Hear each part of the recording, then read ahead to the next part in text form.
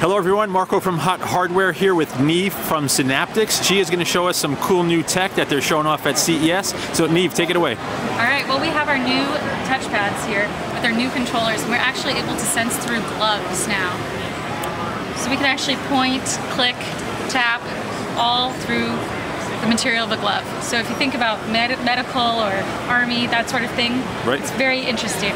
We can also sense through some standing water on your touchpad. So you can actually point and click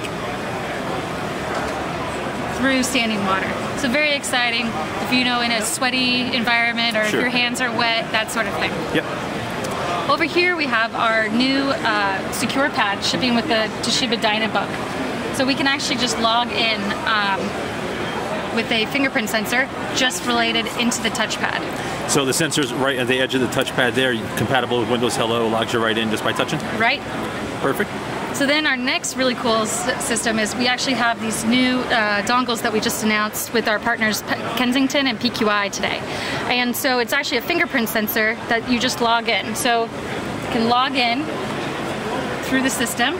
Okay perfectly there. Super fast. So this also actually has our new spoofing demo. So I'm just going to take our fake fingerprints that we made earlier this week.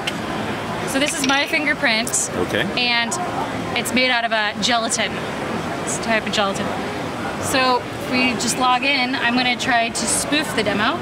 And it says could not recognize your fingerprint. So Windows Hello has shut me down. Yep. So if we move on to our next system, so if we move on to our next system, this is actually running the same exact dongle, but without our anti-spoof. Okay. So if I can just log in here, it logged me in. Gotcha. So my fake finger works as well. So the tech can actually tell, even though it's the identical fingerprint, it's all 3D, it's you know, it's got the similar texture to skin, it can detect that it's not an actual finger. Correct. We have the algorithms in place now. Great. Very cool stuff. Thank you.